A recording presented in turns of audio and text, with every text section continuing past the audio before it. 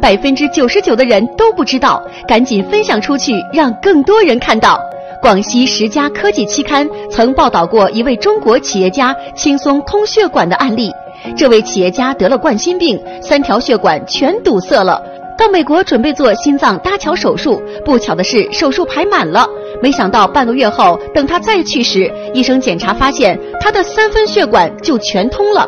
询问一下才了解到，原来企业家每天在家一直在喝一种汤——黑木耳红枣姜汤。为什么会有如此惊人的效果呢？其实，在中医古籍里都有记载了。黑木耳可养血、益胃、降血糖、抗冠状动脉硬化、延缓衰老等作用，尤其适合中老年人和三高人群，被誉为血管清道夫。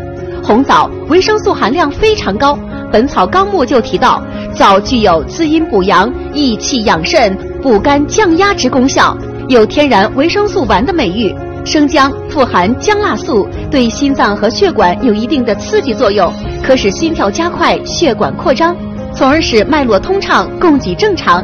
三者完美的搭配起来，不但对心脑血管有巨大的帮助，而且对五脏都有补益。制作方法也非常简单，准备食材：十克黑木耳、三片姜、五枚红枣。一、以上食材加上六碗水一起倒入锅里。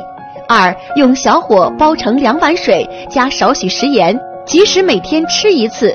需要注意的是，不要和海鲜一起吃，容易腰腹疼痛。红枣食用不超过十枚，多了会腹胀。